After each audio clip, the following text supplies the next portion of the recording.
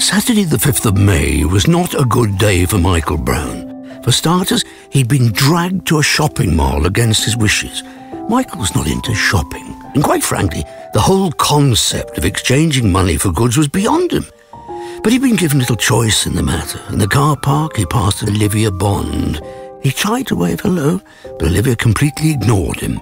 Perhaps this was because Michael looked as if he'd been dressed by his mother. But worse was yet to come. He'd not even made it to the first store when he soiled himself. It was the full number two. Michael knew the situation was bad, but he didn't know how to tell anyone. He simply couldn't find the words to describe his predicament. It was all too overwhelming. He was tired and feverish, and he wanted to go home. Michael didn't need to be at the mall.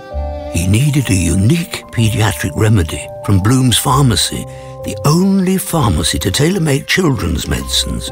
Because even little people have bad days. Bloom's Pharmacy, it only gets better.